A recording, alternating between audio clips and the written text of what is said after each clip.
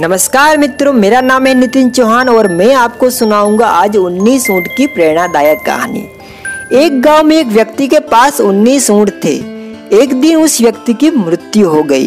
मृत्यु के पश्चात उसकी वसीयत पड़ी गई, जिसमें लिखा था कि मेरे 19 ऊँट में से आधे ऊँट मेरे बेटे को दिए जाए, एक चौथाई मेरी बेटी को दिए जाए और पांचवा हिस्सा मेरे नौकर को दिया जाए। सब लोग चक्कर में पड़ गए। ये बंटवारा कैसे हो सकता है? उन्नीस ऊँट का आधा अर्थात एक ऊँट को काटना पड़ेगा, फिर तो ऊँट ही मर जाएगा। चलो एक को काट भी दिया तो बचे अठारह।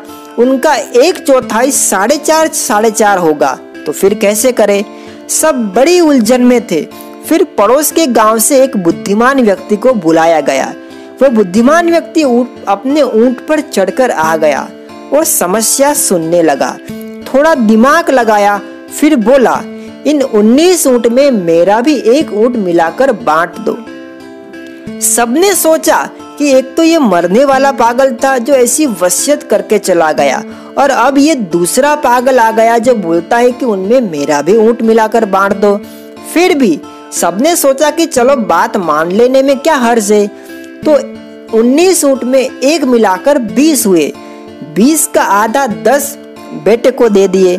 बीस का चौथा हिस्सा पाँच बेटे को दे दिए और बीस का पांचवा हिस्सा चार नौकर को दे दिए।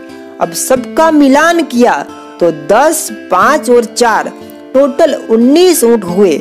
बच गया एक ऊँट, जो बुद्धिमान व्यक्ति का था, वो उसे लेकर अपने गाँव लौट गया। फ्रेंड्स, इस तरह एक ऊँट मिलाने से बाकी उन्नीस ऊँटों का बंटवारा सुख, शांति, संतोष व आनंद से हो गया। फ्रेंड्स हमारे जीवन में भी ऐसी उन्नीस ऊँट होते हैं, जिसे हम कहते हैं पाँच ज्ञानेन्द्रीय पाँच कर्मेंद्रीय पाँच प्राण और चार अंतस्कर इन्हीं उन्नीस ऊँटों के बीच हमारा जीवन उलझा रहता है। फ्रेंड्स ये कहानी आपको कैसी लगी, आप कमेंट करके ज़रूर बताइएगा। और अगर अच्छी लगे तो मेरी चैनल को सब्सक्राइब ज़रूर करिएगा। प्रणाम।